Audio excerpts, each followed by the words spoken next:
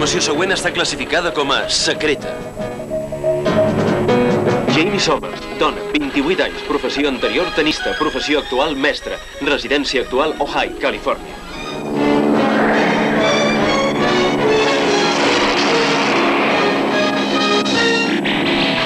Ferida greu en accident de paracaigudisme.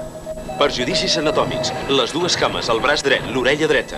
Procediment utilitzat en l'operació substitució biònica, autoritzat per Oscar Goldman. Cost aproximat confidencial. Ha calgut implantar-li mecanismes biònics. Microsensor auditiu. Connexió nerviosa d'alta potència al braç. Ajustament neuromuscular de les cames i alta impulsió als peus. És la segona substitució biònica.